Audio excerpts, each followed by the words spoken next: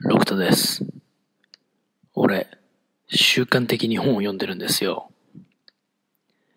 主にベストセラー本なんですけど、どうしてかっていうと、ベストセラー本は多くの人に読まれている。つまり、多くの人に求められていると言えるからですよ。人のニーズを知るということは大事ですから、俺は日頃からリサーチしてるんです。あなたはどうでしょう？同じ考えですかね？もちろん、中には流行っているものは嫌い、ベストセラーは絶対に読まないという人もいるでしょうね。飲み物か食べ物を注文すれば、新刊本を無料で読めるブックカフェがあります。コーヒー一杯で本を読めることができるので、俺はとても重宝してるんですよ。昨日も本を読みに行ったのですが、買わないでおこうと思っていたのに。今回読んだ本のタイトルは、営業。どんな内容だと思いますか？まあ、聞くまでもないんですけど、営業についての本ですよね。ただし、著者が普通じゃないんですよ。いいですか？あの、野村証券の伝説の営業マンなんですよ。サブタイトルにもそう書いてありますから、ちょっと照れくさいぐらいタイトルですよね。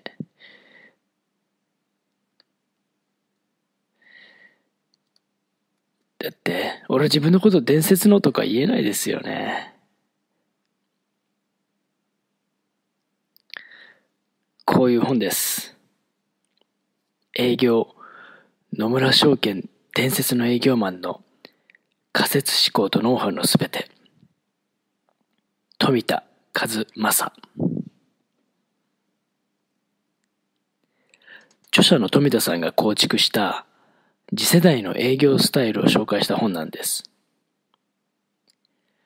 営業の仕事が AI に奪われてしまうかもしれないという心配をしている営業マンに送る応援歌とでも言えるでしょうか。どういうふうにすればよいというメソッド、かっこ方法論、独自の経験から導き出したノウハウ、知識が惜しげもなく公開されています。ん？ちょっと待って。ベストセラーで公開されてるってことは、たくさんの人が知ってるってことでしょ？そんな情報に意味があるんですか？あなたはそう思うことでしょう。大丈夫です。現代の大人は月に2.58冊しか本を読みません。まあ、この数字は統計なのでゼロ冊の人も入ってますし、まあ、ベストセラーといってもどれくらいの人が読んで理解して記憶して活用しているかは本当人それぞれって感じですからね。まあ、俺は結構隅から隅まで一字一句読みたいタイプなんですけど、本の中に一つでも発見があったら、よしとするという考えもありますし、そういう人は全部の内容は覚えてないですよ。とフォローしつつ、俺が気になった点を紹介します。気になった点。仮説思考力。もしかしたら、という仮説を立てて検証していく方法です。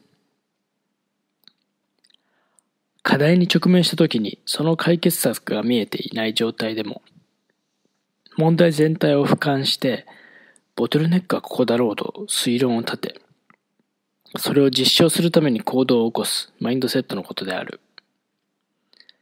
ロジカルシンキングでは演繹法とも呼ばれるもので結論ありきゴールありき目的ありきで全ての思考がスタートする。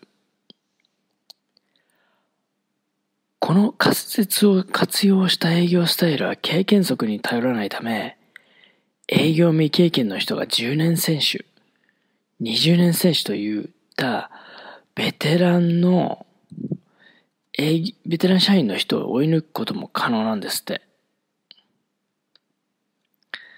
すごくないですか？さらに、仮説営業スタイルは顧客のニーズを特定するときに本領を発揮するようなんですよ。また、マーケティングの世界の AB テストを営業に取り込んだようなものなんですって。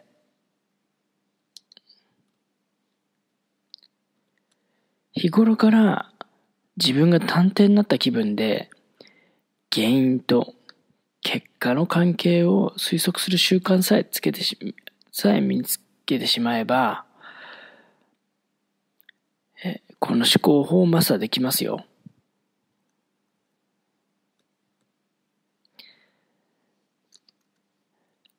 因数分解力 P44 因数分解は多分高校の時に数学でできたかな。まあ中学かもしれないですけど、え思考を整理したり、課題の見落としを防いだりするときに欠かせないスキルで、これができると必然的に仮説の精度も上がるんですって。どうやって？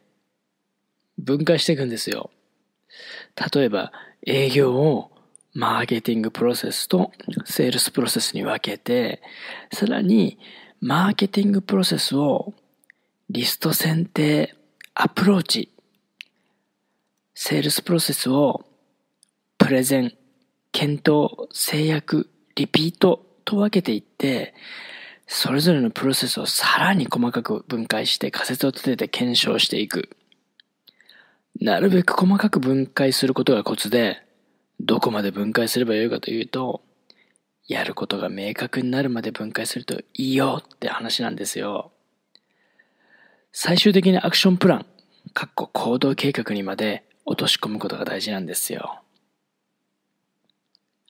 PDCA60 ページ P60 ある目的を達成するときにプラン、かっこ計画、do、実行、チェック、検証、アジャスト、調整というフェーズを循環させることで最大効率を実現する思考のフレームワークなんですよ。PDCA における計画は全て仮説であることを覚えておいてください。また、PDCA について詳しく、詳しくは、富田さんが書いた鬼早 PDCA という本がありますよ。PDCA サイクル自体を続けることが難しいんですって。螺旋階段 P230 成長は螺旋階段状になっていて、日々の成長は地味で何も変化してないように感じる。同じ場所でくるくると回っているようなんですよ。しかし、仮説と検証のループを繰り返していけば、一年後にはこんな場所まで来てしまったか、と思えるとこまで成長することが可能なんですよ。大事なのは、反復して習慣化することなんです。あ、螺旋階段で思い出したんですけど、仙人さんのステージ理論、工学セミナーで一部の人しか知らない内容でしたが、あるログラムを購入すると特典としてついてきます。また、習慣化に関してもそのプログラムでもっと詳しく説明されているので、楽しみにしておいてくださいね。ここがちょっと。代表電話の松番ずらしテクニック。記事を読んでいて、ある記憶が蘇りました。それは数年前の話です。会社のオフィスでパソコンに向かい、一生懸命に資料を作成していました。すると、突然、一本の電話が入りました。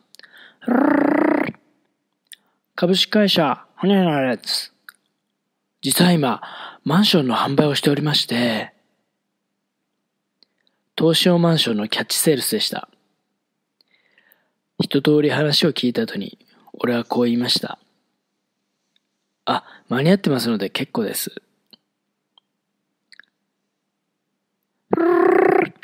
しばらくすると近くの電話が鳴りました。俺の番号の一つ後の電話機。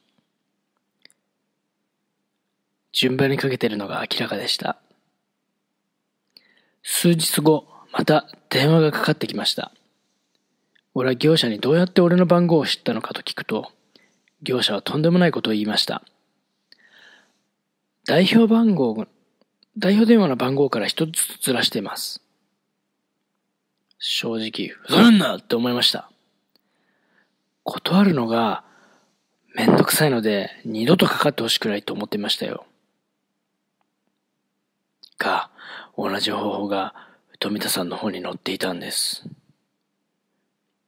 自慢げに書かれてたのは正直ムカつきました。動機づけが弱い。富田さんが工夫を重ねて伝説のセールスマンになったのは理解できるし、その後試行錯誤してメソッドを編み出したのは理解できますよ。が、なぜ富田さんが独自の営業スタイルへ移行する必要があるのかがはっきりと伝わってこない。やんわりと言われてるだけな気がする。もっと俺のハートに火をつけてほしいです。また、自分は体力だけは自信があった。